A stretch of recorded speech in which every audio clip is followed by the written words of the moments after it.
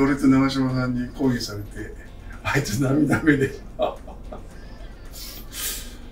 俺流チャンネル。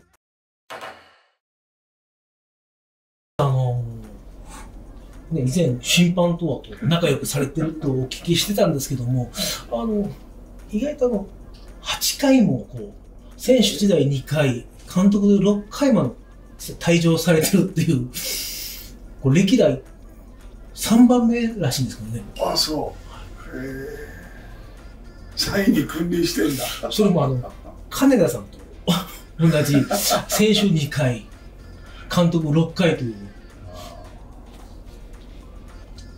選手の2回はよく覚えてるよ、あのロッテ時代にも。えー西武戦で、えー岡村がサードに滑り込んできてアウトかセーフかっていうねで審判がセーフって言ったんだよ。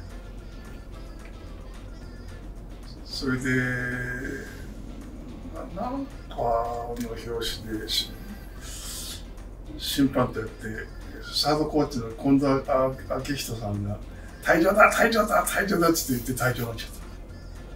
審判というよりもあアピールでそうなった。それで退場になったでお俺お前本当のことを聞くけど今のアウトかセーフかどっちだ言ってみろって言ったら「はいアウトです」って言ったよ。